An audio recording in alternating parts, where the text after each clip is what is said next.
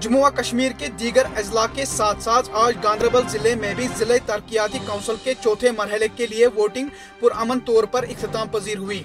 आपको बता दें कि गांधरबल ज़िले में आज डीडीसी और पंचायती इंतबात के लिए वोटिंग सुबह सात बजे शुरू होकर दोपहर दो बजे पुरअमन तौर पर अख्ताम पजीर हुई। जिला में डीडीसी और पंचायती उम्मीदवारों की तादाद सत्तर थी। जिसके लिए अट्ठासी पोलिंग स्टेशन कायम किए गए थे और राय दहदगान की तादाद बीस थी। इस दौरान लोग शदीद सर्दी के बावजूद भी सुबह सवेरे से ही पोलिंग स्टेशनों पर लंबी लंबी कतारों में अपनी बारी का इंतज़ार कर रहे थे। जिला इंतजामिया गांधरबल ने पोलिंग को पुरान तौर कराने के लिए सिक्योरिटी के माकूल इंतज़ाम किए थे।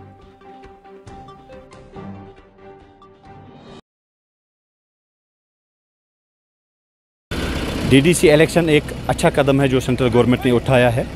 ये लोकल गवर्नर्स के लिए डाउन जो बिछड़े हुए तबका है, इसके लिए अच्छा कदम है। देखिए, अगर डेवलपमेंट होती तो मैं यहाँ नहीं होता। मेरी माँ इलेक्शन नहीं लड़ती।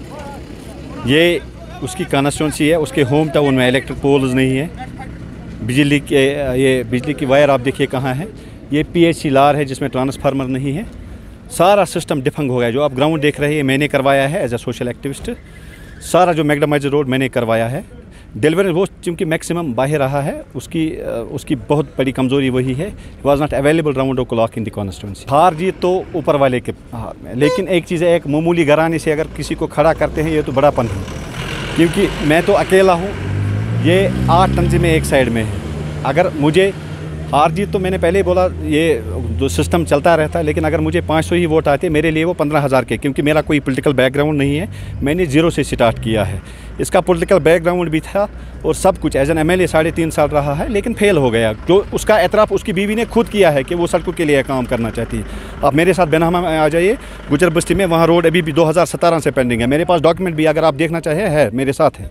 दो से पेंडिंग है, लेकिन आज तक उनको रोड नहीं मिली। तो जिस ये constituency that was represented by the ex prime minister that was Sheikh Abdullah then Omar Farooq Abdullah then Omar Abdullah अगर आप सिस्टम देखेंगे, सारा फेल है, सारा फेल है।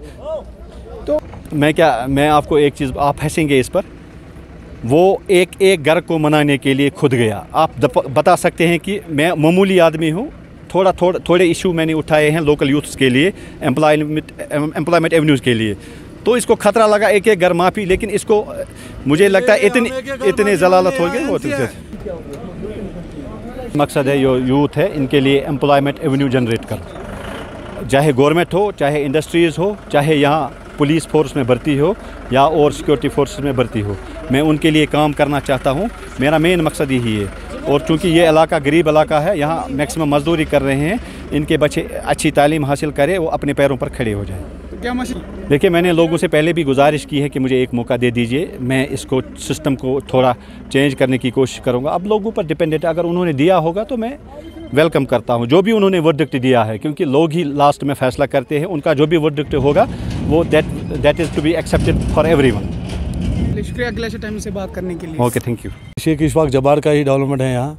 जो हमारा एम एल ए है या किस एम एल ए यहाँ था।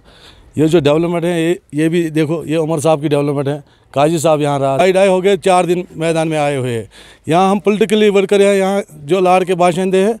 मैं उन्नीस सौ छियानवे में पोलिटिकल वर्कर हूँ। काजी साहब के साथ था मैं उस वक्त।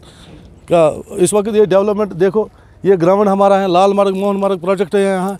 मैगडमेशन ये क्या करवाएगा? चार दिन हो गए इसको पॉलिटिकल मैदान तो मैं, इसलिए मैगडमेशन का मैं एक्स एक्स पंच भी था, यहाँ सरपंच लिए टप नहीं है।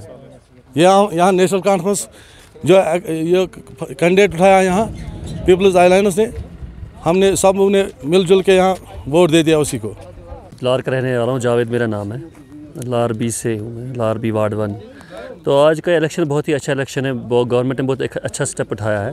क्योंकि ग्रास ग्रास रूट से ही जो है हो रहा है इलेक्शन तो इसमें जो कैंडिडेट्स है, मेरे घर का है या मेरे हमसाया है तो कल डेवलपमेंट के लिए मैं उसके घर जा सकता हूँ। बिल्कुल उसका दामन पकड़ के बोल सकता हूँ या उसका नाला पकड़ के बोल सकता हूँ कि हमारे लिए डेवलपमेंट करो। कैंडिडेट्स बहुत सारे हैं लोकल कैंडिडेट्स सभी हैं। इतना टफ भी नहीं होगा इन जो भी कोई जीतेगा तो नहीं आप देखिए पिछले चार पाँच सालों में ही देखिए कितने ये जो यहाँ जिस एरिया में हम कभी खड़े हैं, आप इस चार पाँच साल में देखिए कितनी नई नई बिल्डिंग्स खड़ी हो। स्कूल या वाटर पम्प शेड है, इसके अलावा ये ग्राउंड हमारा हो गया, ये हायर सेकेंडरी भी नई उसका भी और एक बिल्डिंग बनी है पावर स्टेशन आया हमारे पास तो बहुत सारी बिल्डिंग्स नई नई बनी है, ऐसा कुछ भी नहीं है। लेकिन हाँ पिछले एक दो साल से जो हालात हैं तो वो सभी को पता है तो तब से तो थोड़ी दिक्कत आ रही है।